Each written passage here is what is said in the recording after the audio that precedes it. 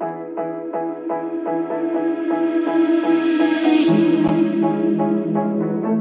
you.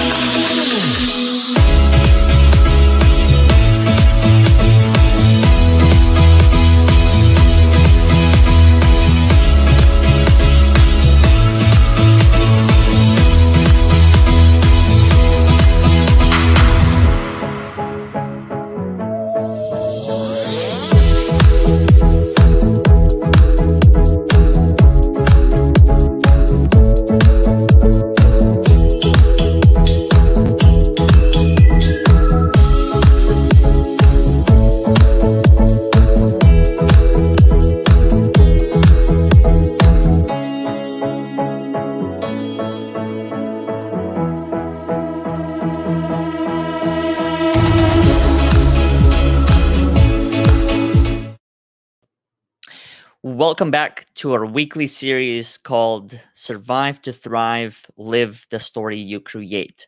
What this is, if this is your first time tuning in, is a series of conversations where we explore the connection between one's personal narrative and the topics of grief, appreciation, gratitude, resilience, and many other topics.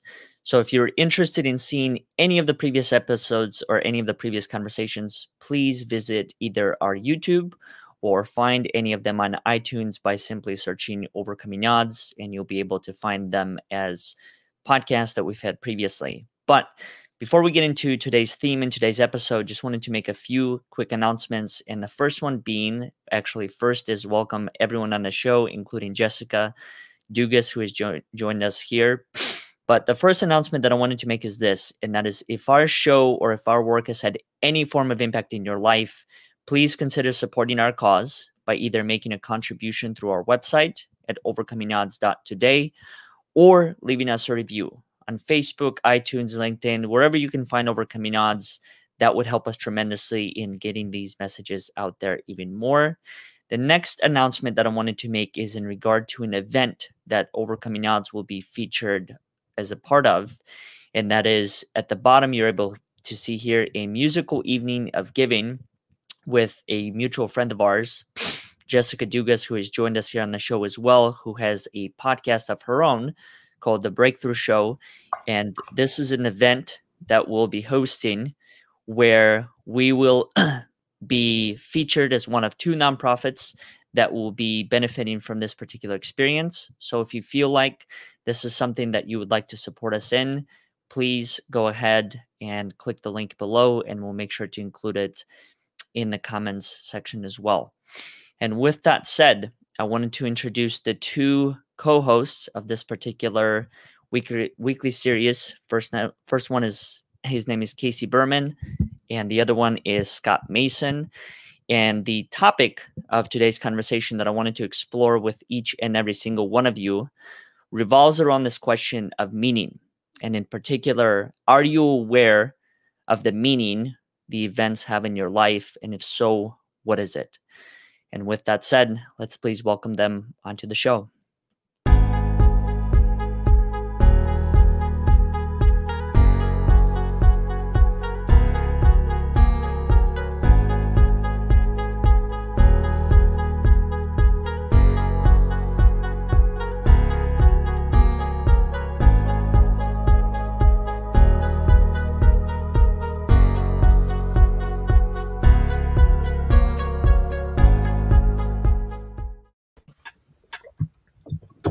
Berman and Scott Mason.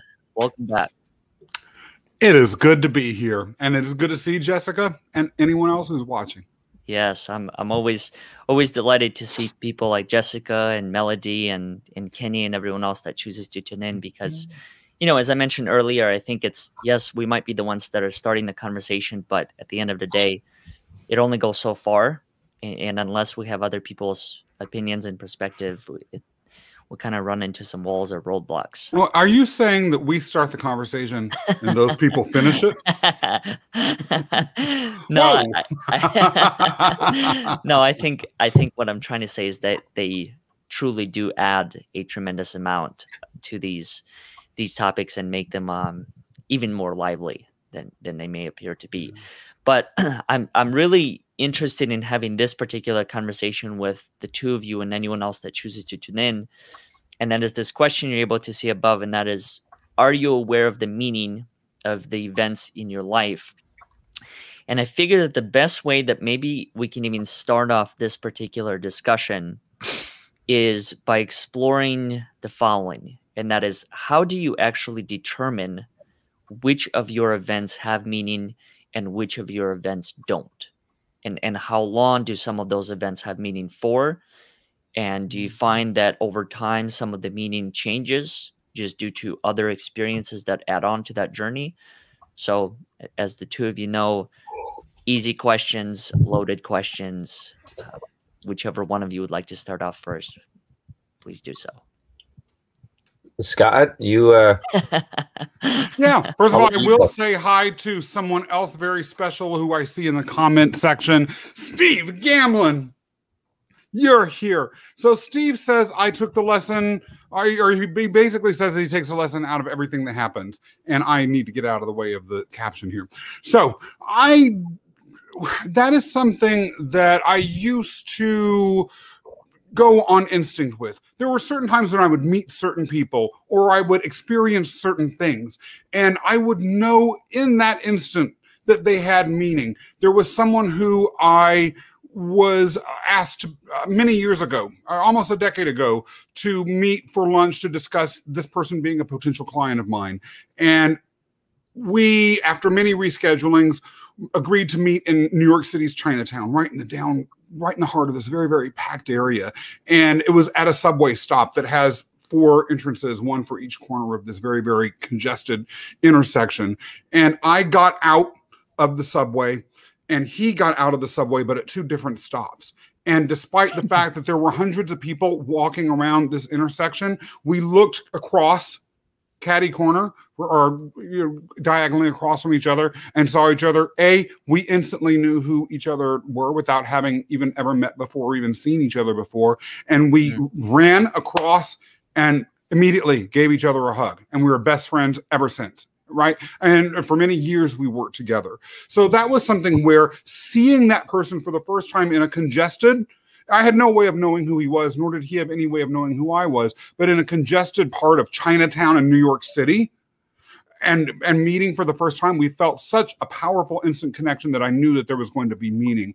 Was that person in my life forever? No. Was I in that person's life forever? No. But did we have a profound impact on each other? Yes. Other times it can be a little bit of a slow grow. There have mm-hmm. been times in which things that seem inconsequential and that I've forgotten about I later, it's almost as though I rediscover them through some sort of, I don't know, it's almost like an event occurring later triggers a memory of this other thing that would make what later happened to have consequence in my life meaning.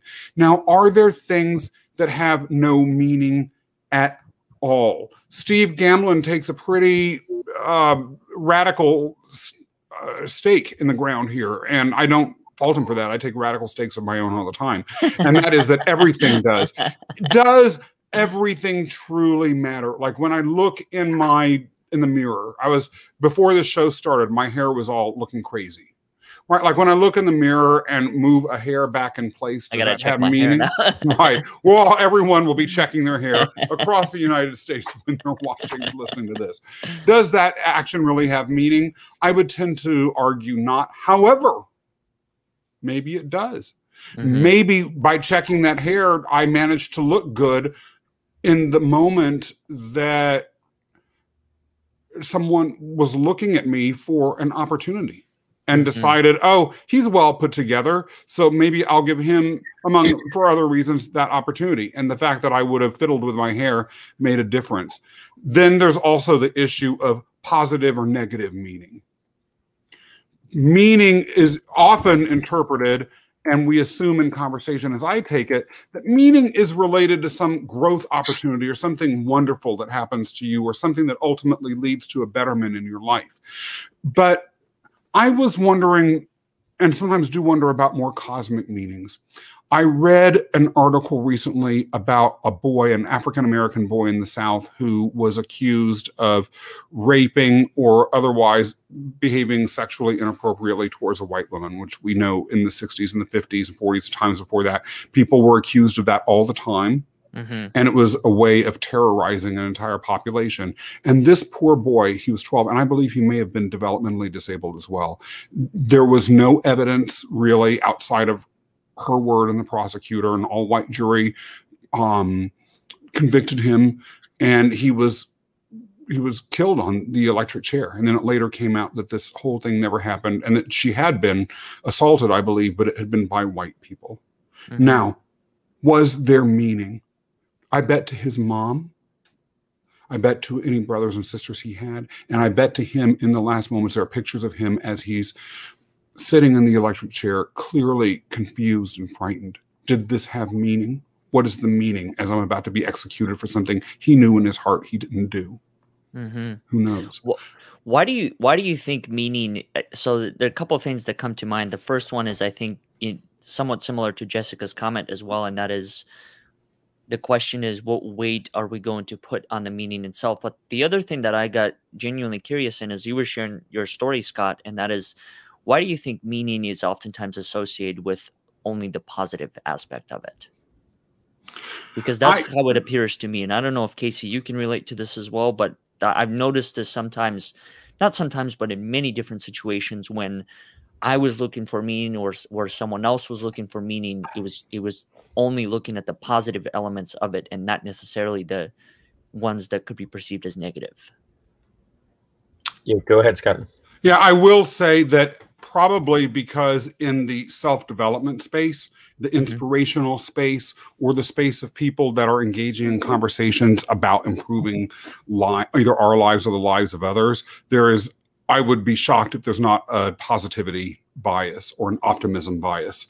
Mm. Why else would we be involved in this? If we had a bias towards cynicism or pessimism, pessimism or fatalism, we wouldn't be trying to make the world better. We would be basically throwing in the towel.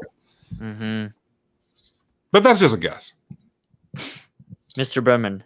Yeah. So, are you aware of the meaning of the events in your life? I am, to, to some, and for me, I look at it if, if you we define meaning as value or significance or importance we can also define meaning as a purpose why we're even here everyone's searching for the meaning of life so i look at it two ways and one is we can either look at events happening to us and having meaning to us mm-hmm. or we can look at the way which we've talked about before that we give meaning to everything that happens to us and you can choose how you want. I feel like the former that events happen to me is sort of like the blue pill in the matrix um, we're either a victim or we're lucky in life and it just happens. It's out of my control. I'm going to make the best of it and that lets us have a narrative of i'm I'm Steph Curry and I'm great and I work hard and life is great and I'm so happy I'm here, you know, or I'm a victim and I have a narrative of so you can look at it that way. And I, I look at it that way many times. Um, and you feel sort of that, I call it the poison. You feel this poison inside of you when something happens, whether your hair's out of place, you have a pimple on your nose, or whether your your team loses or um, your car's acting funny and you're just like, I don't want to pour any more money into this. I mean, whatever it is, right? That's something happening to you. And you're definitely aware of it because you feel it. I mean, you mm-hmm. feel you feel dread or happiness, right? You just get a hundred grand wired into your bank account, you're feeling pretty good. That gave you a lot of meaning, right? That I gotta check check my bank account here. That's right. right. Financial security, cushion, all that.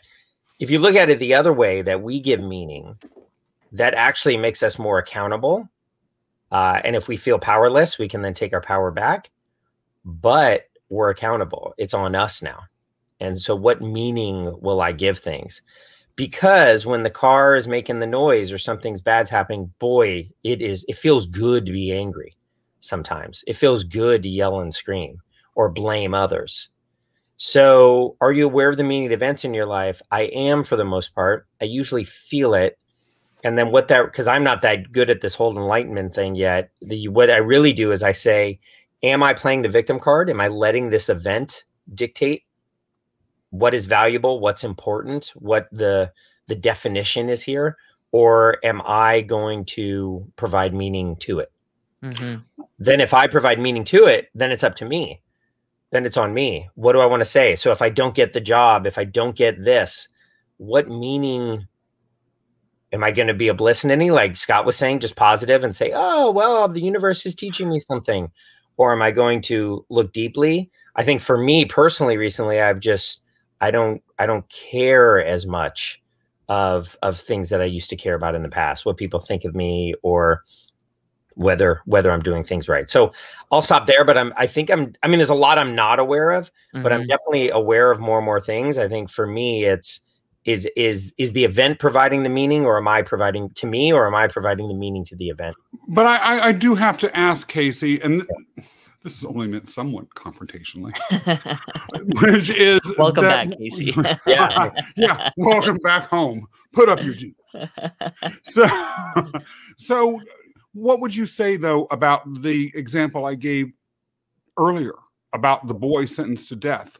Right, right. Do we feel that taking this to the marginal extremes, that it's up to him as he's sentenced to death for a sexual assault that never occurred, solely basically because of his race? That there's a meaning that it's on him to find on top of dealing with the, his imminent execution. I look to to answer that. I look at the writings of Nelson Mandela, mm-hmm. and and the peace and calm, and not the lack of anger. I mean, definitely not someone being dumb and saying, "Oh, I guess they're right," or "I guess I did something wrong," or in that sense. Um, I don't know what meaning that is in this in this matrix that's the glitch right like that's when it goes wrong for mm-hmm. us and and i provide the wrong meaning. Um, who knows? Maybe that person and was relieved. Maybe he can get out of this life already. Maybe he put meaning on it and and and if anyone's listening and disagrees, that's fine. And if you think this sounds horrible, but maybe he said, finally, I'm out. I know the headlines look horrible, but I'm I'm out. This is what I needed out. I don't know. Maybe he saw meaning that maybe that person who was so simple actually had so much more foresight. And in the same way, Jesus felt like he was here to sacrifice and for us to be talking about this person so that it doesn't happen down the road. Maybe he was so out of his body that the pain and the suffering we see, he didn't feel. Maybe just like Jesus on the cross, he he didn't even feel it anymore. He was so in spirit. I don't know. I hope that's the meaning he mm-hmm. he found in it. Mm-hmm. If he found meaning that he was wrong, that's that is just such a painful episode for him. I I, I can't even imagine it. Mm-hmm. Um, but I I find solace in in what Mandela and just the calm and the peace or the Dalai Lama and all the suffering they have. I mean, can you believe the Dalai Lama is like one of the funniest, most humorous guys on this planet? and considering all the pain that he has had to endure for such a long mm-hmm. life. So I don't know. I hope I hope that person in your story had a just was more connected with spirit than body, realized that, you know, row, row, row your boat, life is but a dream, and that hoped that his story would be an example like it is that we're talking about it now, and that that would never happen again. Um, that's all the meaning I can give it. You mm-hmm. just told a story which I had never heard before, mm-hmm. mm-hmm. which just came to me through vibrations of this thing called the internet. Yeah. It resonated on my eardrums. It then, through some other vibration, was processed in my brain, and now I have a new learning. So now, what is what is Casey? What meaning is Casey Berman going to give it? Mm-hmm. I mean, I could give it a meaning that the world is horrible and I could go and yell and scream at my kids and just be horrible. I could go, who knows what I could do.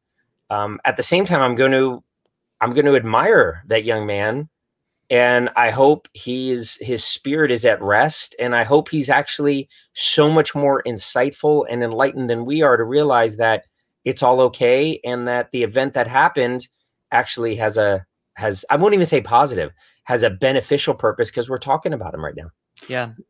And that does go as to what I mentioned briefly the potential cosmic way of looking at meaning versus purely the personal. Yeah. I think it also goes to the point uh, Jessica pointed out this in the comments, and that is, are we willing to believe that unfairness and death and anger and sadness and grief and unjust situations could be for good? So this is something that I've actually had a question about for quite some time, considering the events that I think we've experienced as a country, as a world in the year of 2020, uh, when it comes to just well many different things covid mm. race and you, you kind of you name it mm-hmm. but i've been very curious as far as some of the things that have happened is I'm trying to understand was the the overarching meaning for them to happen so that we could see the possibility for change we could see the possibilities mm-hmm. for growth and it's I, I don't think there's necessarily a, a right or wrong answer or i don't think there is the ultimate answer to that question but i think it boils down to something that the two of you have touched upon, as well as Jessica and anyone else that's listening, and that's the choice. The choice that I'm willing to make as it comes to the events and the meaning that I'm willing to give to each and every single one of them, which could also change depending on how I'm feeling or where I'm at or the chapter that I'm currently in within my life. You know, I remember when I, however many years ago, when I didn't have the same perspective or open mind someone would tell me an event and I would look at it as my way or the highway. Now I'm a lot more open as far as, well, it could be that. It is possible to wash a dish 50 different ways. It doesn't have to be done only one way. So I also find that to be fascinating how, depending on where I am in life, the meaning of the events can shift as well and, and can take a different form. And the reason, part of the reason I think that's so, and that everything is relative, which a lot of people may not want to hear because it's difficult to think that everything is relative. But a lot of what we see in the present moment is based on our past mm-hmm. and, and what we bring to it. And so um, it's stages in life, and it's also each of us has a has a different past which is why when you meet someone who has similar issues that you've run into or just similar experiences whether it's the same race or religion or you both went to the same summer camp or you both had abusive parents or whatever it is there's that connection because you're viewing world the world in the same way mm-hmm. because our past experiences are mostly unfortunately because um, it doesn't let us be in the moment our past experiences really help drive that meaning that we see in the now not necessarily looking for uh, the exact event of when this happened for you, Casey, but do you remember what shifted in your life that helps you see world as a place that is relative, depending on the perspective and the opinion of whoever, instead of hey, it can only be this way and it can't be any other way?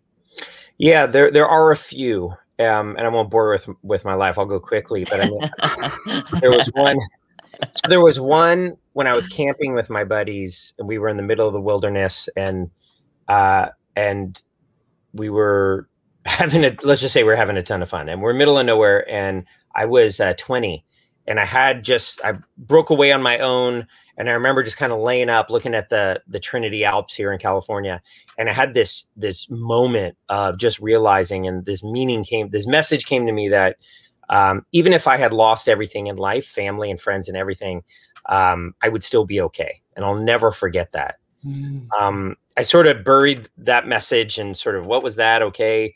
Uh, I then moved forward to um, my wife and I, when we first got married, uh, when we first moved in together, she showed me uh, What's the Bleep, that movie, What's the Bleep, mm-hmm. and uh, about quantum physics. Um, before that, there was someone who kind of mentioned to me how my life was like an outline and I was following a path. I'll never forget when she said that. Mm-hmm. And then my daughter was born. She was about seven months. She was in the high chair.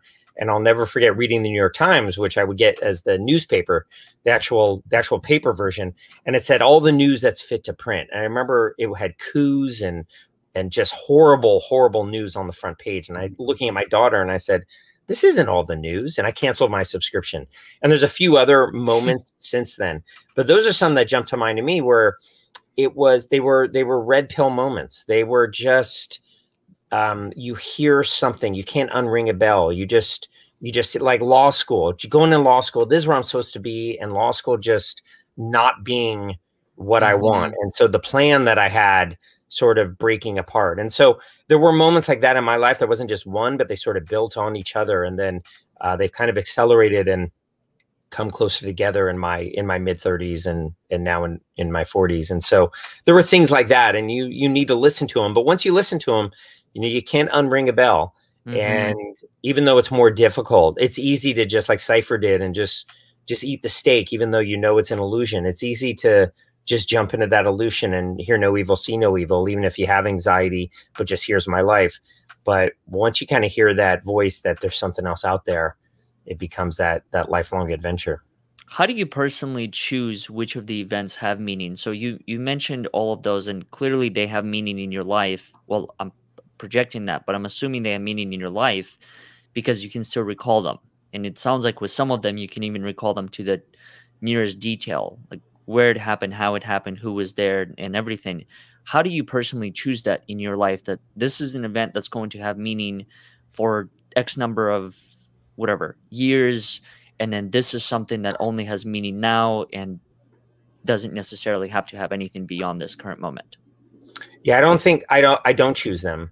My my unconscious, my subconscious, whatever word you want to use, the the part mm-hmm. of my brain that isn't conscious, the part uh, chooses them for me. And I think that's based on my conscious beliefs. So consciously, I believe things.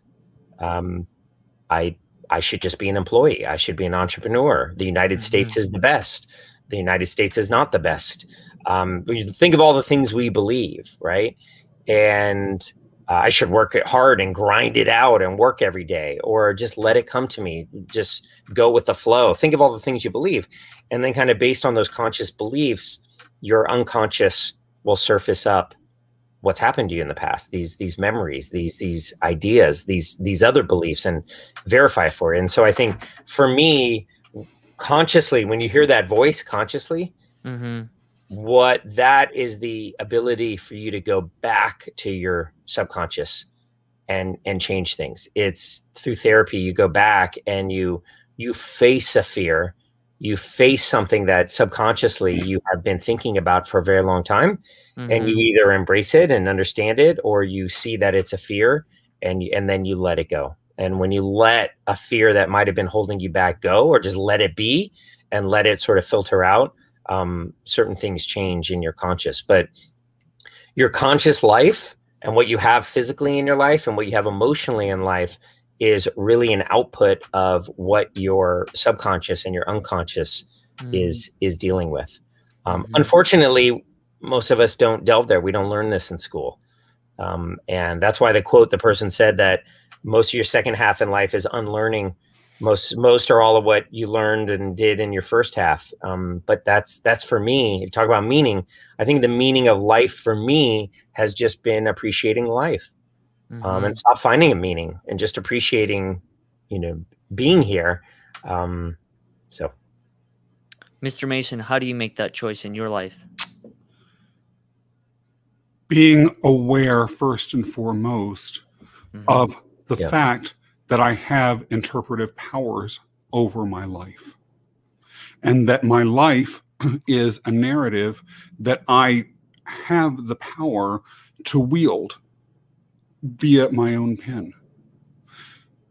You and I, in some other conversations, and those that know me well know that this has come up more recently with a coach I'm working in. So there's some with mm-hmm. sort of some background here that I have a fixation on mythology mythology, for the most part, are creating it exists to create a cultural narrative.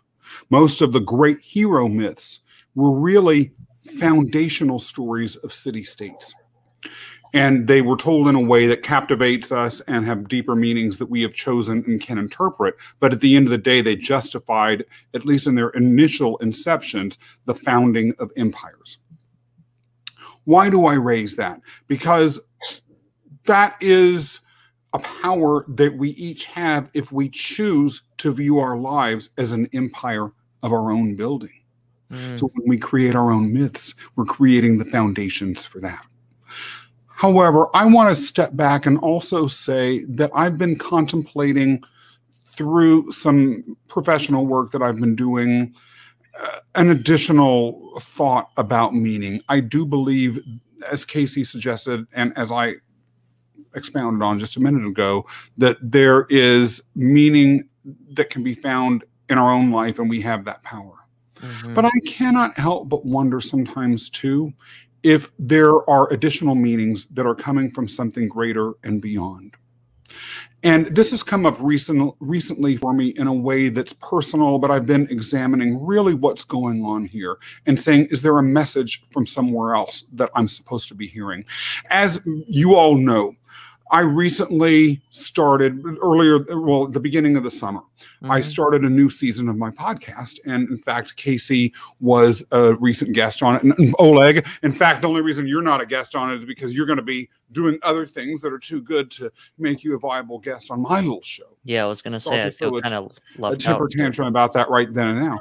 but but that being said, really, it's uh, the show has a very very specific focus, and I don't want to self promote, but I'm going to tell you this for a reason. Reason the focus of the show is on spirituality, ethics, and connection to purpose in the face of the decline in religiosity in around the world. Mm-hmm. The reason why I mention the focus is because a theme that has been coming up over and over and over again repeatedly, and this just came up in an episode that I taped yesterday, has been climate change. No matter who I talk to, Casey, you've actually been maybe the rare exception. This theme keeps being raised by guests. One of them was talking about reincarnation climate change comes up. Another was talking about consciousness, climate change comes up. Another was talking about uh, social ethics, climate change change comes up. Another one was talking about inner transformation and and alternate spiritualities. Climate change comes up. And as I was processing the lessons that I'm learning or the issues that are being raised by the guests. And I don't, I'm not particularly interested, or so I thought. I understand climate change is a serious issue and I don't want to contribute to it. And I do all of the things that a regular citizen like myself can do to, mm-hmm. to contribute to its minimization. But it's not my cause. Yet here it is. And as I was writing down the lessons from this podcast that has nothing to do on the surface with climate change, with a diversity of guests who have nothing in common that would lead me to think that they all would feel like they need to talk about climate change, I began to wonder, I began to feel like as I was processing this, that my podcast and the conscious world that I was operating in were the same as me sitting in this little box in the corner of my 500 square foot apartment now. But right behind this curtain here, something is pounding something is pounding, waiting to be let in my consciousness. And that felt like climate change. Part of what I'm looking to process internally with my coach through journaling, what this is about.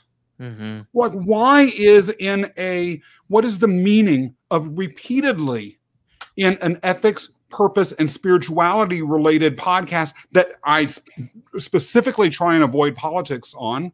Is climate change coming up every time I turn around?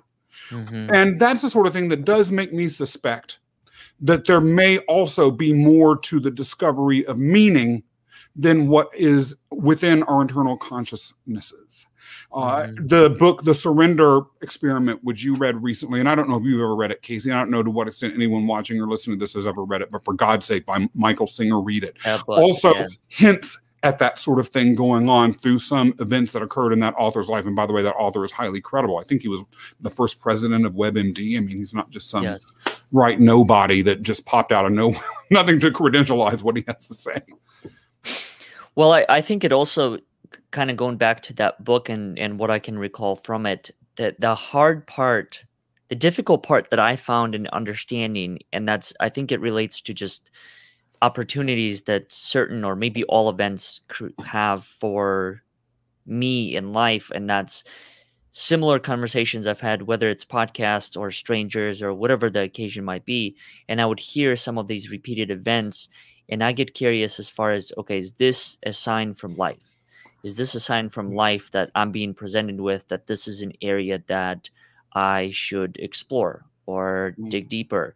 And that's the hardest part. And I don't know how the two of you interpret this, but that's the most difficult part that I find within this journey is that it's very it, it's very difficult to know. There's um I was having a conversation recently with uh individual, his name is uh, JR Martinez, and he mentioned this concept that at least in America, according to him, many people look for billboards. And, and what he meant by that is billboards that can give you the exact direction of where you should go and what you should do as you embark on that particular journey.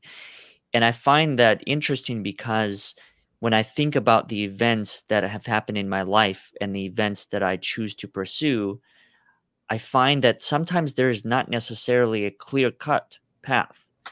In your case, as you were mentioning, Scott, climate change came up it, it could come up it came up again this conversation. So is that is that something that you choose to act upon create meaning from? That's the harder part i think for me to understand is is is this a sign from whatever the source that i believe or is this just another random encounter? Because there's also element of randomness in, in this world at least in my opinion randomness i agree. I think that there if there's anything i learned from the surrender experiment though is to not discount or dismiss things as random that are so unlikely to be random. And and the climate change is just one example of that. Again there are a zillion different business podcasts out there. There are a zillion different podcasts about horror. There are a zillion different podcasts about a zillion different themes. Mm-hmm. and and there are podcasts about climate change and the environment and none of these people are choosing to be there. I mean, they are perhaps, but but it, it, is one of those things where I do feel like we can find meaning from random events if we choose due to our brains evolution mm-hmm. have a tendency to see patterns that being said the ability to see patterns was one of the reasons our species has been successful mm-hmm. we notice for instance that every six months in our area of the wilderness where we were that there are droughts so we try and control the water because mm-hmm. we're capable of observing patterns. And so, and those th- those periods of drought were not just random. They may have been created by random forces, but they're not just random. And in the case of this climate change, for instance, I'm choosing, I could say, oh, this is all just a random coincidence and ignore it. Mm-hmm. Lived experience, which I've also come to accept as a something to just pay attention to, as well as intuition sometimes, uh, has taught me and uh, don't I, I ignore things that are constantly being shoved in my face at my own peril. Mm-hmm. This might be a bold statement here, but do you, either of you think that one of the reasons why some or many, whatever the number looks like, try to create meaning from events in their lives in order to control their existence? Is that the reason why we do it? So there's something called the spiritual ego. I think the answer is yes. And there's something called the spiritual ego, which so the ego, and you hear it in Zen, you hear it from Freud, you hear it from from Locke, but but a good definition that I've heard from the ego is the ego is that that self, that entity, that story that we've created um, as a way for us to put out to the world. Mm. That's a story that we want. That's our that's our ego. And our ego, this story doesn't really like change that much because it wants to keep that story going. If we change, if we start listening to these things, we then stop that story. That story dies, and that story doesn't like it. Now, what is an example of an ego? It could be you're you're organized, you're climbing the corporate ladder, you're upstanding individual. It could also be you're a creative genius, you're always disorganized. It could be any story that you want. It could be anxiety. It could be I'm just the, the world is a wreck. There's there you know you know uh, uh, Grumpy Smurf, right? I mean, Grumpy Mhm. Smurf, their ego was I'm just going to be unhappy all the time.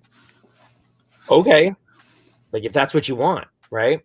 Um, so whatever your ego is is really just the story you're putting out there. Now, sometimes the ego will hijack the self development and will hijack everything Scott's talking about. Mhm. and you'll make there's a book 10% happier by this abc correspondent who talks about meditation and how it can make you happier. And that's kind of where it's going and where doing these type of things has a purpose. It's going to you know help. One of my players on the giants was talking about him how he meditates and visualizes. The military's using it. I think that's all great. At the same time meditation is not necessarily a means to end. It's not a hack. Mhm. and being spiritual and self-development is not a hack. It's not to get a little bit more out of the day. It can lead to that. But the main point that i see and, and so the spiritual ego is doing that well let me just find a let's find some meaning in something so wow climate change has come up a lot or wow a leaf just fell in front of my face and it twirled or there's a billboard there or you know my wife brought up this for the third time you know i'm going to find meaning in it Did I just have a little bit of a slap down there? Whoa. but are you going to find it? I mean, I would say, Scott, to your thing, yeah, maybe, or maybe not. It's up to you yeah. if you want. And so for me, I so so that's the thing I need to be aware of with meaning is that who where is this meaning coming from? So to the point of are there certain things coming in life?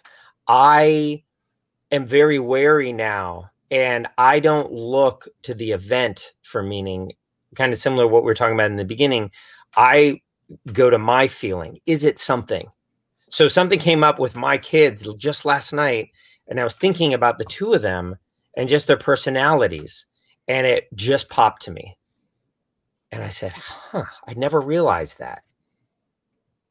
And it more of was myself surfacing. So for me, I think the most important events that come up are those that we ourselves surface up. So with the climate change, I'm not I'm not being confrontational here. What I'm saying is I think something surfaced inside of you, Scott, around Mhm. hearing that a lot. And then the question is, well, what meaning do you give it? Um, maybe it's that climate change isn't something separate. Maybe it's that the world, the reason all of this is happening is just like when you get a cold and you push yourself too much, the world is just tired yeah. world and this egoic narrative that we have grow grow grow wall street earnings every three months go conquer the world bulldozers rockets guns i mean all of this egoic narrative and what you said scott at a cosmic level at an exponential level this story wants to stay alive in the world because people are making a lot of profit on it Mhm. but I think the world, the the gut and the soul of the world is literally saying is is, is giving us opportunity to take the red pill when it comes to the world itself. hmm Billy Atwell shared a great remark here in the comments, and that is he can't help but think Yeah. William Blake and Shakespeare while listening to this conversation and their concepts. All things are neutral, but it is choice of thinking makes it so, whether good or bad. That's right. And I find that to be interesting. I think similar to both of your points, as well as anyone else that's shared, and that's I, in my opinion, and, and based on what I've heard today, it sounds like much of it truly does boil down to a choice. What is the choice that you're willing and wanting to make? And, and then from there, what's the meaning that? So it's almost as if meaning is a byproduct of the choice that is made. And the bigger choice is am I going to be a victim of the events or am I going to dictate what those events mean to me? hmm And not a control dictate I'm God and I'm coming down, I'm on a monarch, I'm going to control. It's not that level of control. But it's it's what meaning am I going to give to it? Because it's really easy to say that the event, the generator of the meaning, is doing it to me. Then it's out of our Mhm. hands. hmm No, woe is me. It's out of our hands. Mhm. What Billy's talking about with everything being neutral is that it's incumbent upon us to provide it meaning, which then begs Mhm. the question okay, Casey, what meaning are you going to give this? Mm-hmm.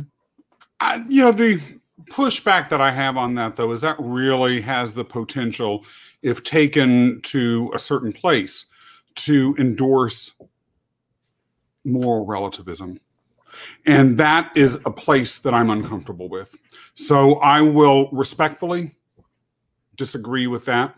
Mm-hmm. Where that moves, I think in some cases, perhaps when it comes to events that are out of control happening to us, the meaning of the events in our lives are something that are, are things that um, are defined by our actions. But the actions that we take upon others, in my opinion, are a different story.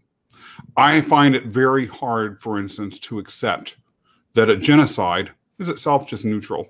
It's only bad because we decide that it's bad. No, Mhm. It's bad. So think about and part of the reason I push on extremes here is because the extremes really define the limits of an argument that we're making. And if the argument cannot be taken to the extremes, then perhaps there's an internal flaw in that argument that's worth examining. Or it may be simply that that argument is only good up to a certain horizon. And then understanding when that horizon is crossed is helpful for us to understand it. I'm very cautious personally, and again, with all due respect to everything that's being said here, because it has opened my mind and it's given me a lot of pause about things that I've thought and felt Mhm. secure in my thinking around, and and and the minds that are on display during this conversation today have been, you know, blowing to me.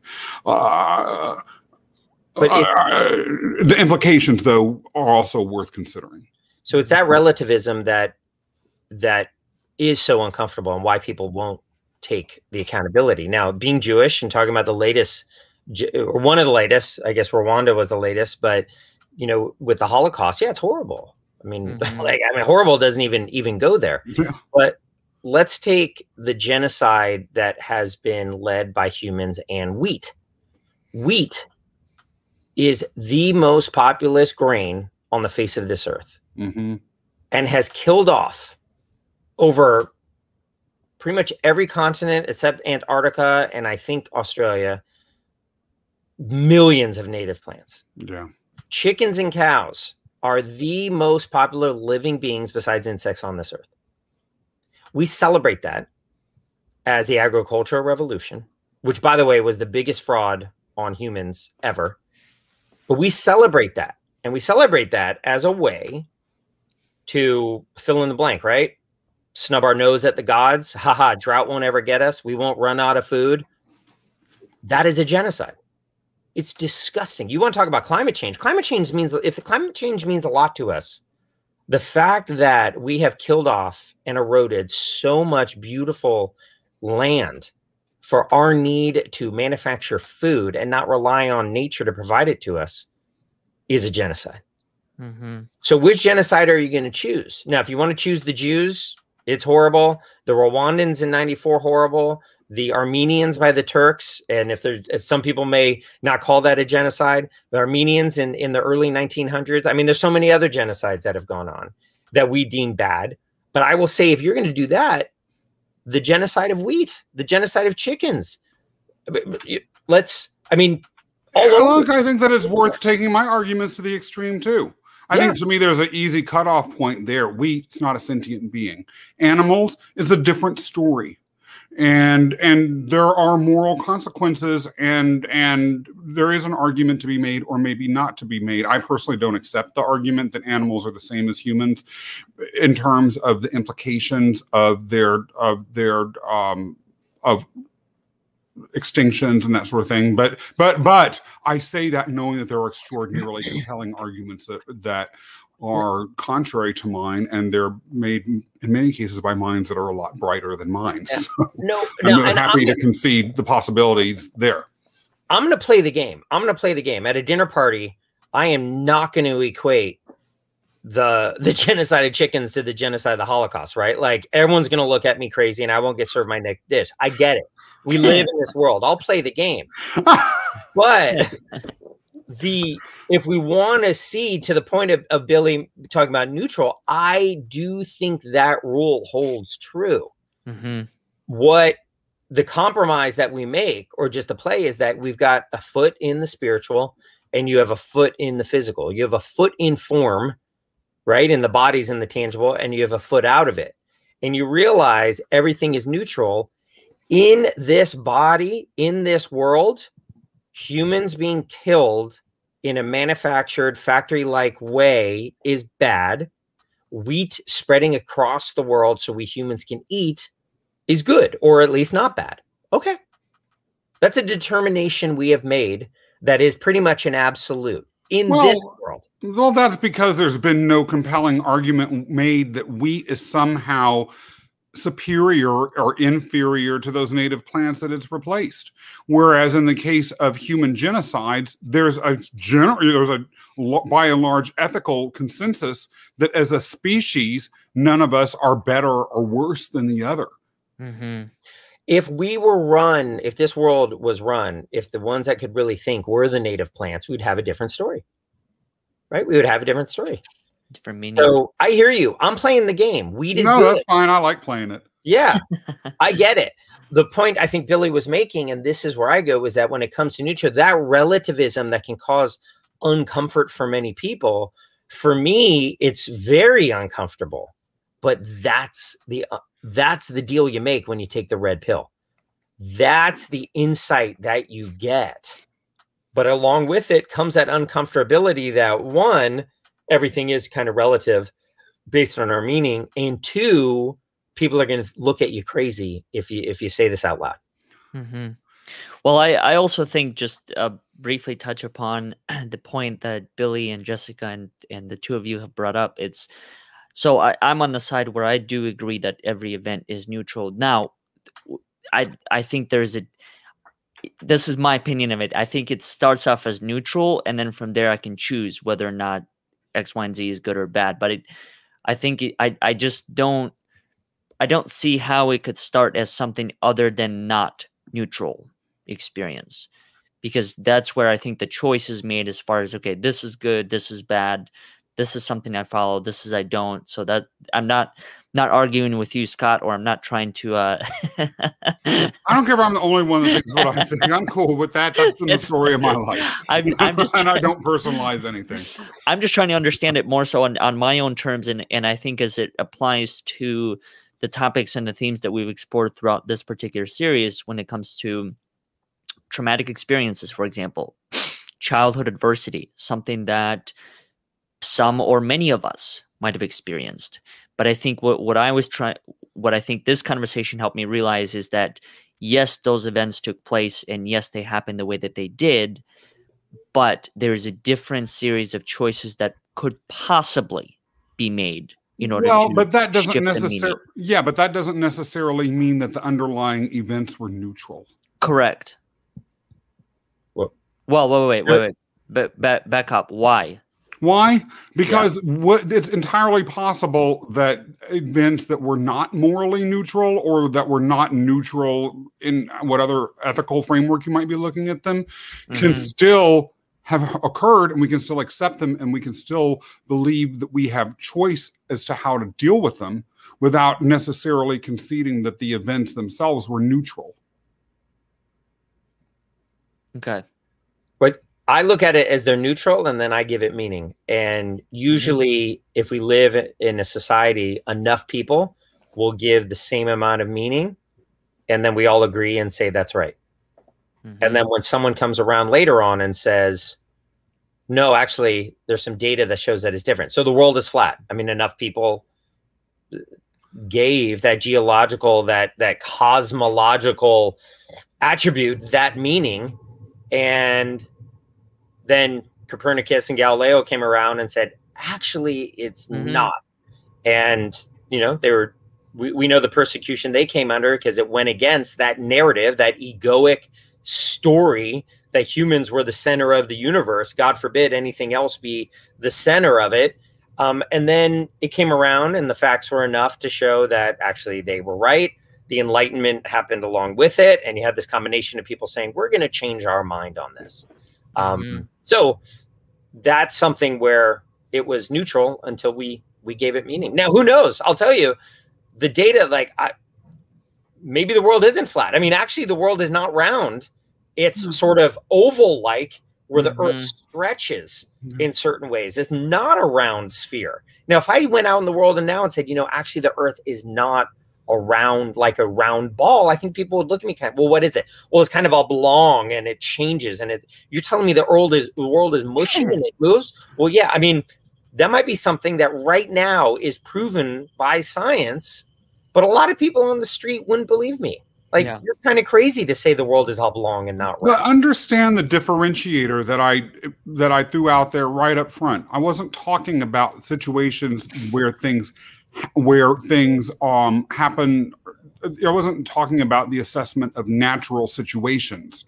I was talking about active things that happen to us. The world being round or oblong or whatever isn't the result of a human being or uh, acting on us. That's just a fact of nature.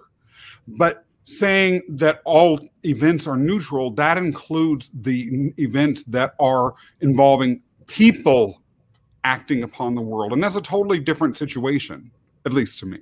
hmm Well, if you, I mean, let's look at Trump. Let's take it. I mean, if you look at Trump, a politician acting on the world, I mean, look at what Texas and what certain areas have done in, in banning abortion. If you're on the left or even in the middle, I mean, these are these are spark worthy issues for you. And you're the meaning you give them is the world's going to hell in a handbasket and and I can't believe this. And I wish Ruth Bader Ginsburg had retired earlier and damn Mitch McConnell and all of that, right? If you're on the right, you're saying, whew, finally some semblance of organization in the world. Finally, we're protecting the unborn. These crazy liberals from San Francisco uh, are losing a bit of the grip on this. And, you know, the world's not going crazy. There is some some structure in the world again. hmm God bless Trump. God bless the Supreme Court hmm right? So you got two different meanings. It's very neutral on a very hot topic. And so, how do you look now? How did me, where I'm trying to stay out of politics and I don't really want to get worked up about something like that? I look at it like this is the ego is just loving it. These narratives, you know how alive both of these narratives are? Do you know how alive the left is on this? Do you know how alive, you know how much money both sides are going to raise on this. On know, this Justin- episode alone, yeah. Yeah, Justice Breyer. Justice Breyer is going to be in the news for years now. I mean, this is I. If you're a liberal listening, come, feel free to try and smack me. This is hmm. one of the best things for liberal groups. Planned Parenthood is going to rake in so much money off of this, as they should. Use it. That's great. But that's how I'm looking at it. I'm just looking at this as dueling narratives that hmm. are coming together. This is the battle of the titans. And the left loves the left need both of them, the left and the right, both extremes need a bad guy. The Giants need the Dodgers. The Israelis need the Palestinians. The Catholics need the Protestants and vice versa in Northern Ireland. They need this. The far woke left needs the rabid January 6th right. They need each other. This is their narrative. If anything, what's going on right now is so good for the extremes. As they say, when two elephants fight, it's the grass that suffers. And what Mhm. really suffers here is is us in the middle, hmm is us the moderates, the ones who who the Republicans and the Democrats who get along every day, who love each other. That's who really suffers here. And so, for any meaning I take from this is, I got to find good meaning. I got to see what's going on and understand who's been follow the money, understand who's benefiting from this, but at the same time, understand that life is great for me, for my family, for those around me, and not let these extreme narratives sort of take me off my axis. Hmm. A- As we get to the top of the hour, what is the meaning that the two of you choose to take away from the following comment here? and by this, I mean as in this conversation, I think Jessica means. I think that's what she meant too, and she and she had to step outside. Uh, no, I love it. I mean, this is why this is why I come on here. I think it's I think it's a fantastic way to express uh, what we're what how, how we're feeling and what we're doing. I could be totally wrong. Um, but as far as fiery, I think fiery is is making us think. Is mm-hmm. I mean, we're uncomfortable then. If this conversation is uncomfortable, uh, unpack why. Why is it uncomfortable? Mm-hmm. Now, Scott and I love each other, so there's nothing there. We're, you know, I mean, we're we're confronting and and having fun. So I don't know if it's anything there. I think it's just more of um, we differ on worldviews and and how we're going to find meaning. Um, so. I think we probably both can appreciate Jessica's sense of humor. She's pulling out "We Are the World" from the 1980s. Lionel Richie was heavily involved in that. Lionel Richie, my nemesis. We can see humor in that. another event with another another, another event. Another event. Lionel Richie. What are some ways that, and I'll start with you, Scott, that people can find more about what you're doing and, and the meaning that you choose to create in this world? Scott Mason Central, which you've got to know to love, is purposehighway.com.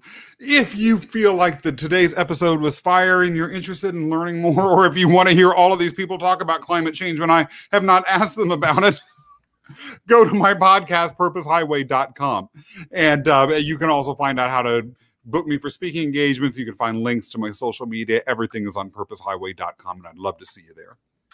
Mr. Berman yeah, I help unhappy attorneys to leave the law. So you can find me at leavelawbehind.com.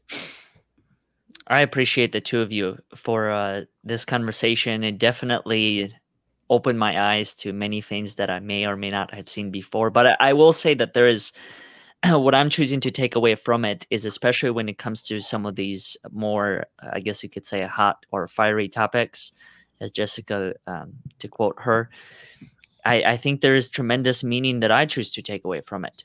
And that's what is that discomfort?